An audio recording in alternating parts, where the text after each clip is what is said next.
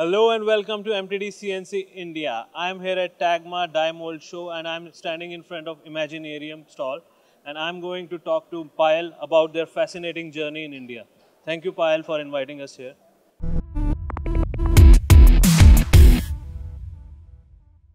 Please tell us the journey of uh, Imaginarium. So, hi, thank you for even joining us today here.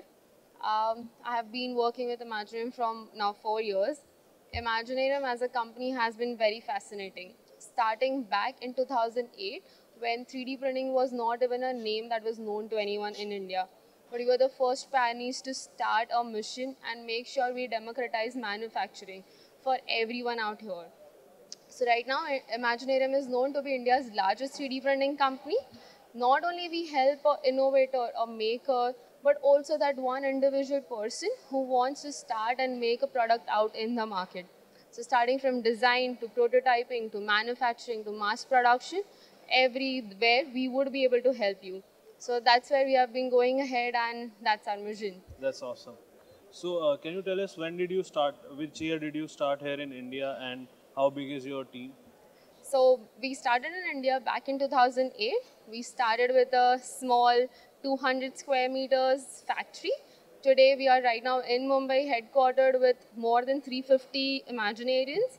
Now we are not only serving India but also serving globally to all the various countries you can name.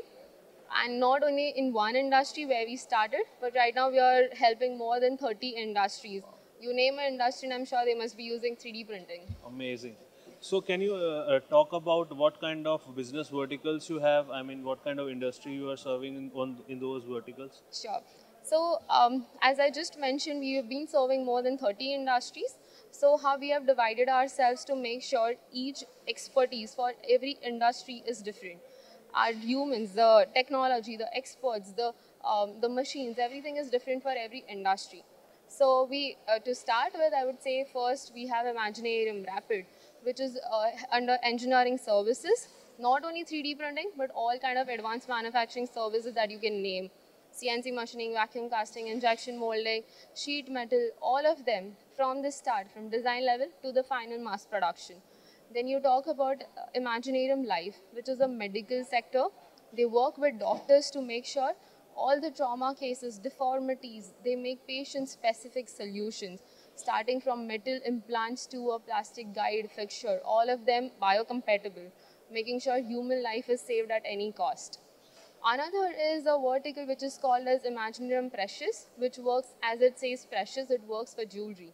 So when you talk about jewelry, all precious gold, diamond, silver, whatever you name, you make all these beautiful jewelries out there. I guarantee you in last one decade, any jewelry piece that you have bought has 100% gone through a 3D printing uh, procedure. There's no jewelry now that's made without it. So that's like one of the innovations that we have been working in from last 15 years. Another vertical through which we are here at the Tagma stall is Imaginarium Solutions, which does is partner with all the best OEMs in the world, making sure India grows towards that. We use the best technology which is available across the world in India itself. So we have partnered with companies like GE Additive. The GE Additive who makes their own machines for the G aviation industry. The same company we sell the 3D printers, use their 3D printers. And then we have Formlabs here, Ultimaker, Materialise, and many 30 plus OEMs that we have partnered with. So one motto that Imaginarium always works and makes sure for every industry is we are ourselves the user of the technology and then we are trying to sell. Also now we are not talking about just prototyping, but end used parts. So imagine you just waking up at your home and you realize my door handle is not working. You don't have to worry about calling someone. You just do is you have a 3D printer, you download a file, print it, use it. So that's where we are trying to move. Amazing. I mean, I think it's a whole Imaginarium world out there, right? Exactly. So you are, I mean, you are so have such a diverse portfolio from jewelry to medical to machine tool industry, manufacturing industry. I mean, this is amazing. And I think uh, I would like to know more about uh, your uh, participation in die mold uh, exhibition also. So I think one of your colleague would For like sure. to, you know, Yes. explain that. Yes. So can you invite uh, I would like to invite Samkit Shah, who's a business head for one of these uh, verticals, as I mentioned, the management solutions here. So he'll be the best friend to take us through the journey of tool and die manufacturing and industry here. So let's snap it here and uh, our new colleague will join Sure. us. Thank you. So now we have Samkit with us from Imaginarium. Thank you, Samkit, for coming here. Thank you so, for uh, having please tell us why you have participated in this die mold show. What are you offering to die mold manufacturers here? So tool and die is one of the bedrocks for any country to you know really grow. That's the uh, you know uh, background for manufacturing.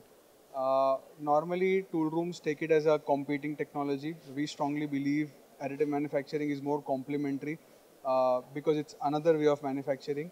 There are multiple ways that actually a toolmaker can enhance its offerings, enhance its products and values uh, by using additive manufacturing. So uh, to the tool rooms and to their end customers who are developing uh, new products, uh, it's something that is of immense use.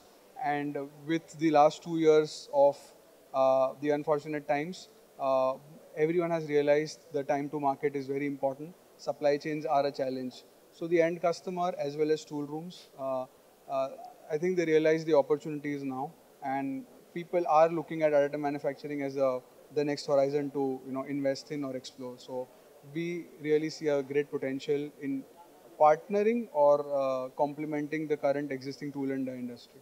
Very interesting. So, uh, regarding this tool and die, uh, what kind of tool and die, which sectors you are uh, providing your services? So typically it's the wide range of services. Uh, some people are, so one of the examples we have is pressure die casting. Uh, a lot of them can optimize their tools using metal additive manufacturing. Yeah, Uh, that can actually enhance their delivery times, reduce their sub, you know, timelines to deliver the part. So a tool room can uh, provide it as a service. A manufacturer can use it for their own uh, betterment. Uh, there is always a pyramid of you know uh, use. It starts with hardware understanding, it goes with design optimization, and then it goes to material optimization. Yes. So typically, uh, if hardware is known well and if design is changed, then uh, there is another potential of creating an entire new uh, dimension of products. Uh, you know, consolidating parts, el- eliminating the need of assemblies. So there is a wide application across industries, uh, and tool and die starts at the you know at the bottom because that's where a die is made, and then the parts start to make.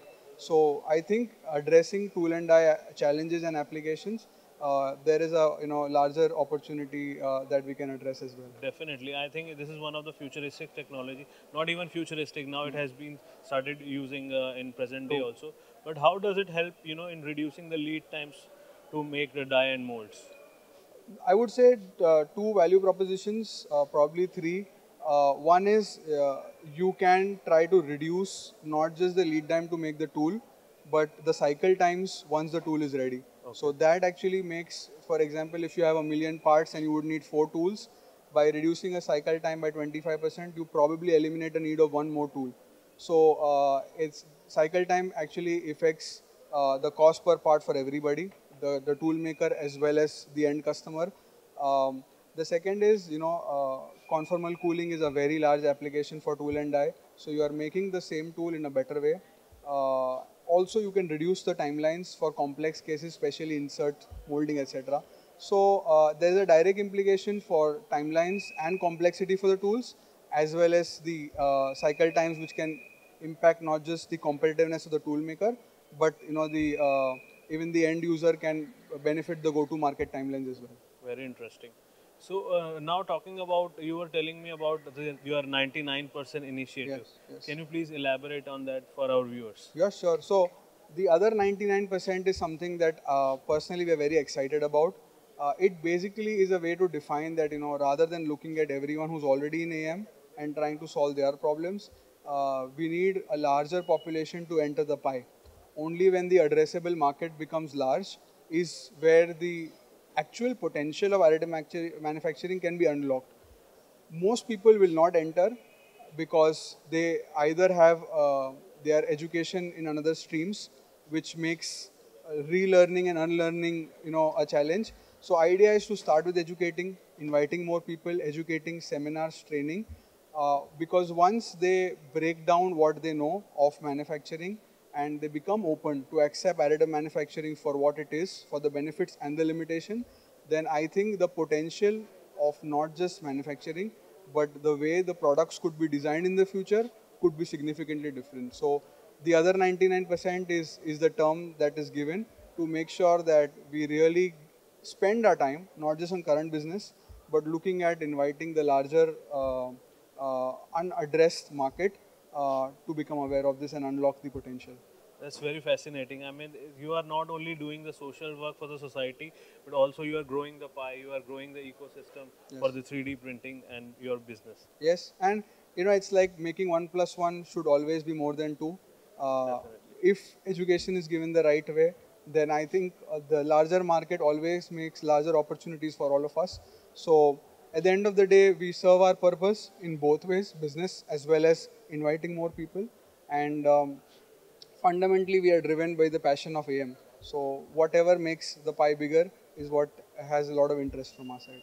I'm sure our viewers must be very interested to contact you about this 99% program as Yes. well as your die mold services. So can you tell us your contact details? How should the people should contact you? Certainly. So, uh, thank you for watching. Firstly, um, uh, uh, the way that uh, I would invite you to reach out to us is hello at imaginarium.io. That's our uh, uh, um, email ID where you can reach out to us. And we are extremely excited uh, to address each and every concern or query or interest that you have.